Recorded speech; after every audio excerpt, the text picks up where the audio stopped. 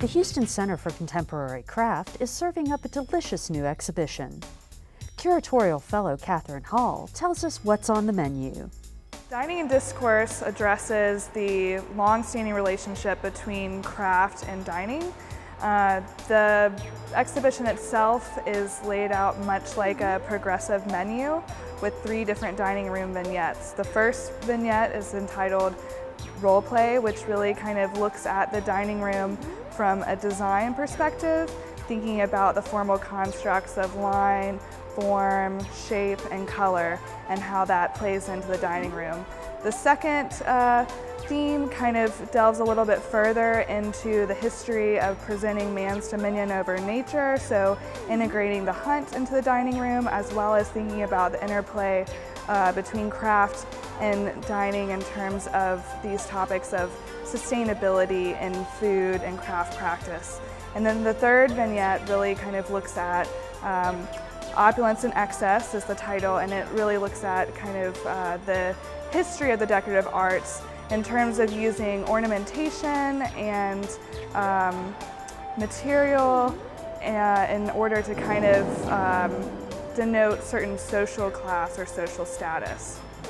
Craft has a really long-standing history with the dining room and I think oftentimes when you look at the history of art you'll see certain craft-based objects in certain still lives for instance. One kind of thinks of um, maybe even the Vanitas paintings of Spain and thinking about handmade objects but you know I think really the idea behind this exhibition was to look at the objects that we take for granted on an everyday basis, looking at our flatware and our plateware, cups, bowls, um, the dining room table, and kind of thinking about what craft has done to influence our relationship with those objects on a daily basis.